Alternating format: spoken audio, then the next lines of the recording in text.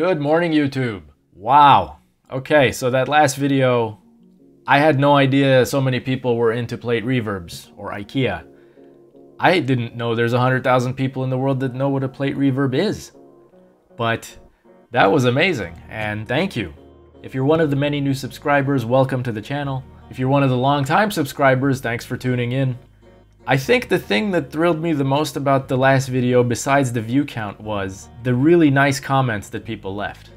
There was not much snark and there were a lot of really good questions and really cool comments and I tried to answer as many of them as I can. And thank you for that. Okay, so let's talk. At the end of the last video, we had a plate reverb that was working, but it had a number of problems. And in this video, what I'm gonna try to do is solve as many of those problems as I can and improve the sound of that plate reverb as much as possible. Okay, let's do this.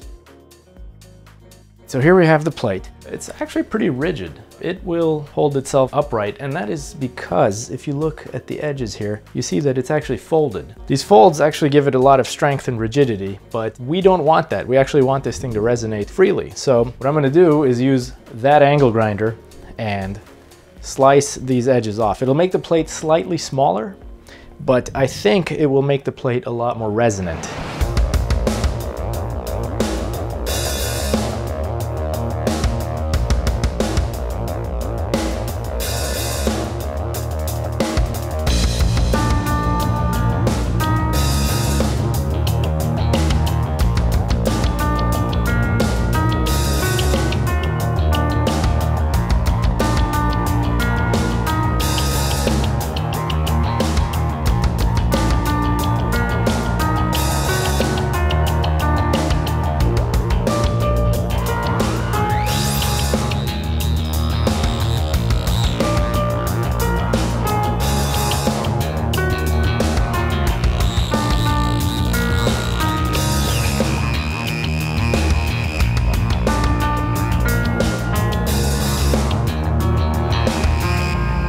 So after quite a lot of cutting and grinding and sanding, we have this. This beautiful sheet of steel. Look at how floppy it is now. And since removing the paint, it's actually gone down in thickness quite a bit. This used to be a millimeter thick, and once I sanded all the paint down, we're now down to about 0.6 millimeter. And that thinness really shows in the sound. Check this out. That sounds really, really much better than before. And I think it just looks gorgeous too. So next step is to get this thing mounted in the cage. As quite a few commenters recommended, I'm going to turn the table on its side and hang the plate vertically. I think doing so is going to help the plate resonate better and it's going to take up a lot less floor space.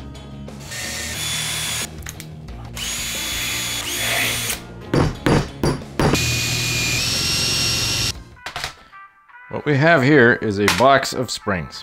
I got it for eight bucks from the hardware store. We're gonna use these to hang up this plate. And by the way, the plate is not galvanized or coated in anything, so it's gonna start to rust. And I'm actually looking forward to that because I think it might sound interesting when it starts to rust. And if I don't like the sound, well, I can get another plate from Ikea for 16 bucks. Cool. And I found that one spring is usually not enough, so I've been using two. And we can get these springs interleaved. And push them together. Now you got one much stiffer spring.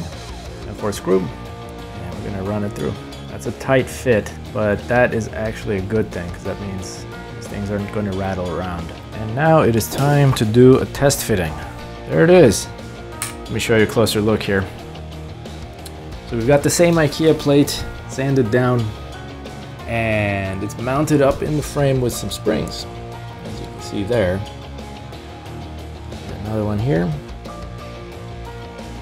And up here we're using wing nuts to tension that plate and make sure that it's under a good amount of tension. Same thing on the bottom side. And best part of all for this whole thing is check out how good this sounds. Yeah, all those high frequencies are back.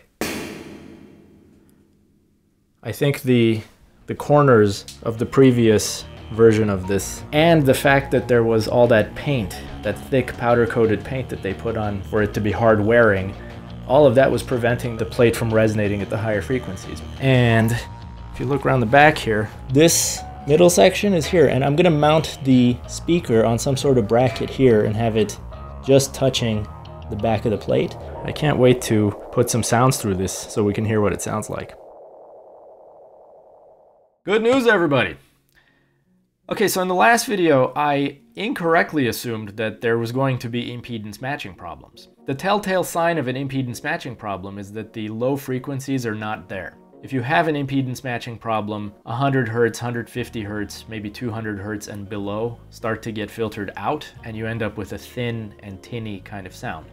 But it occurred to me that my plate doesn't have that problem, and that made me wonder if the audio interface actually does have a really high impedance input. And I happen to be in sort of a privileged position because I've been working in this industry a long time and I have a lot of friends in high places. So I wrote an email to the product managers at Focusrite that are in charge of the audio interface line. And they checked with engineering and the input impedance of the instrument inputs on that interface are one mega ohm, which is perfect. It is exactly what we need for piezo pickups which is also a relief because it means I don't have to build anything. Speaking of not having to build anything, I also solved the ground hum issue with a cable, a wire.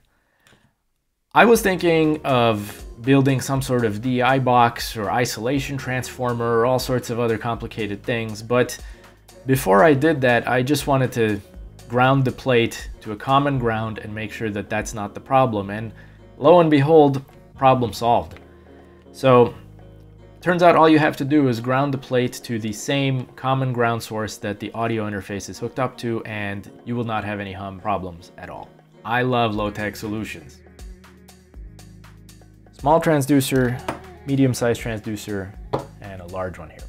I've done a bit of testing on all three of these. I thought this would be the best option. This is capable of producing lower frequencies and is louder which you'd think is good, but it turns out when you run this into a plate reverb, it ends up with a pretty muddy sound with lots of low frequencies, and it actually didn't produce the best sound. The small one had the opposite problem, where this isn't capable of generating enough low frequency sound, so you end up with sort of a thin, mid-rangey, tinny sort of sound that also wasn't very good. So it turns out that the middle option, this guy, the one that we used in the prototype, is actually the best sounding of the three.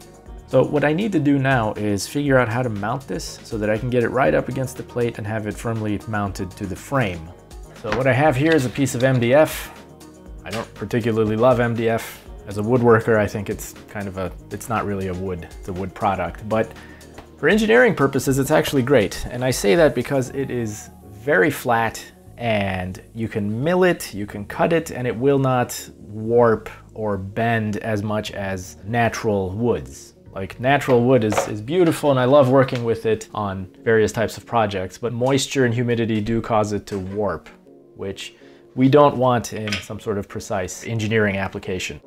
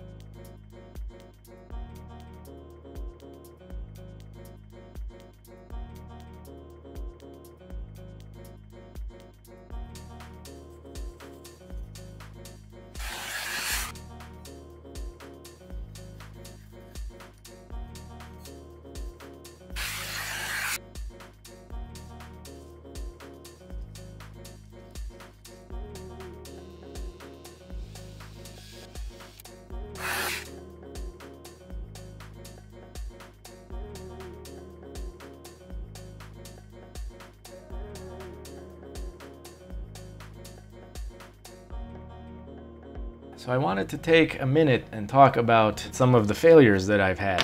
Looking at this time lapse, you might think that this thing took half an hour and it came out perfect, but The truth is, I actually had to go through quite a few different iterations of this thing before I got it. There's more that I threw out before I thought to film all this. I think it's kind of important to take a minute and talk about this. These are all of the different things that didn't make it into the beautiful finished final product that you see here. In some cases, I drilled the hole and it was too small and I tried to open it up with a screwdriver just to pry it open and I broke the MDF. In other cases, I just drilled it off center and this didn't work and it was too big. In some cases, I got it almost right, except that I didn't think to make this edge lower so that I can actually get a screw in. Another failed attempt. This one was almost right, except when I started drilling that deep hole, the MDF started splintering, and that wasn't gonna work. And this is the one that you saw at the end that actually did work. It's a little bit janky, but this one actually worked and I could get the transducer mounted in here and get a screw in. I did all of this just to prove that it can be done with basic hand tools. In the end, what I did was take whatever I'd learned here and I dumped everything into Fusion 360 and built 3D models of everything. And I put all of this into the CNC machine. That's why you see like a perfect cut here and this thing is just perfect. But it took a lot of iterations to get to this. And I don't want anybody watching this thinking, oh, I can just sit here and 30 minutes later have a perfect part. No, it takes a little bit of work to get here. Hardware is not easy. It's hard. And sometimes you have to struggle with it for a long time and face a lot of headaches and failed prototypes before you find a solution that really works. But I tell you what, when you find that solution, it feels really good. And to know that you've done that with your own hands and your own ingenuity, that's a really great feeling. If you're a musician, you probably know that feeling when you create something and you listen to it the next day and it just sounds good. Well, I get that from doing this, and I think you can too. I hope that people watching this channel will be inspired to go out and think about problems, break it down into small sections, and then solve those problems and come up with cool solutions. I think that's a really exciting and empowering thing.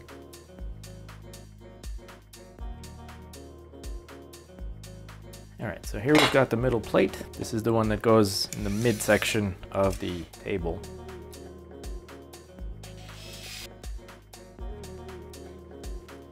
Here's the transducer, screw, through our hole, and tighten it down. Now the nice thing about having a slot here is that this is actually adjustable. You can pull it back if you are transporting it and move it to the side like this, tighten it down, and when you need to deploy it, you can do that here. In fact, you should be able to use some, some sticky tape or something else to mount the amp actually on the back of the plate. So everything is locked in one place and you just take your one cable, plug it into your computer and you should be good to go. So here we've got the plate. It's hooked up to the computer exactly the same way as before. I'm using even the same cables and the same settings on the recorder, which is here so that everything is exactly the same and we have an apples to apples comparison between that and the original plate. So let's fire up Addictive Drums 2 and let's take a listen.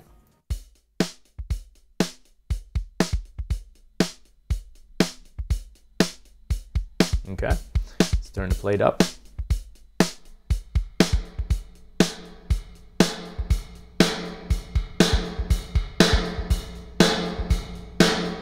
Now that's a lot of reverb, but can really hear that high frequency sort of sparkle is all back now.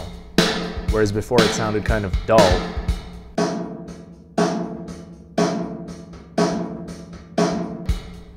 Now it sounds uh, quite crispy. Now if we go back to the, to the plate here, I actually don't have a good solution yet for dampening the plate. I have the same scarf as before, and what we can do is just sort of lean the scarf up against the plate hear it, you can hear it cut down the reverb time a bit. Take it away.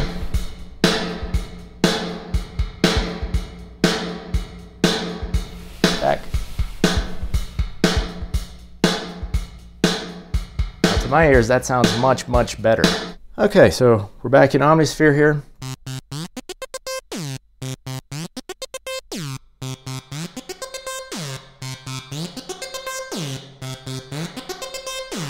Sounds much more plate-like.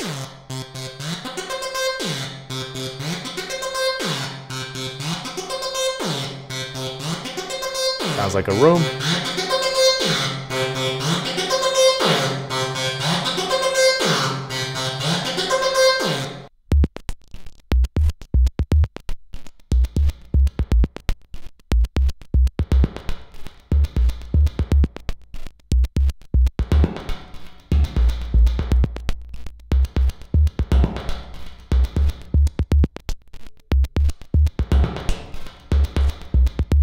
Automate the send amount and play with it.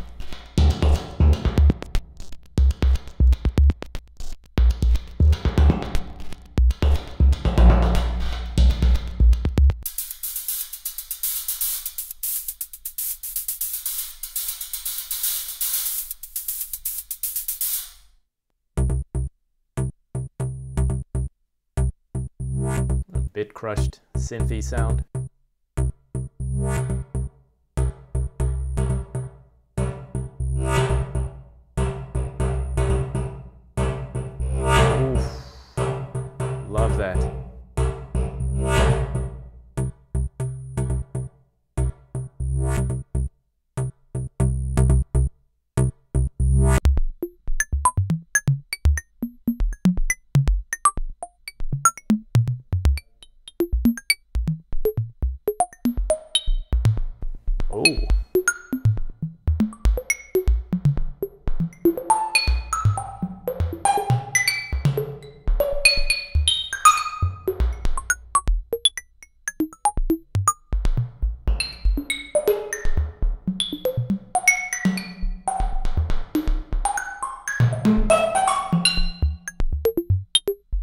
Now if you push this thing really hard, you can actually get the amp on the plate to start overdriving, which in itself gives you kind of an interesting sound. Check this out.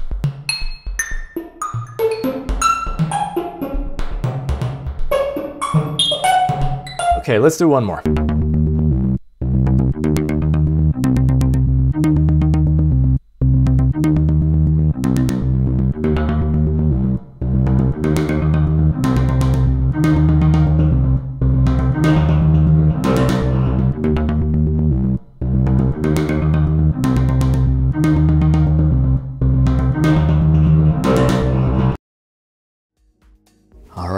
Right, folks. So there you have it. The IKEA Plate Reverb Hack version 2.